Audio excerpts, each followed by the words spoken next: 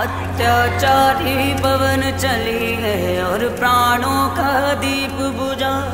जीवन कारावास था जैसे कोई बंधक मुक्त हुआ। रहना भी आएगा रहना भी आए तो धूप ना ढले।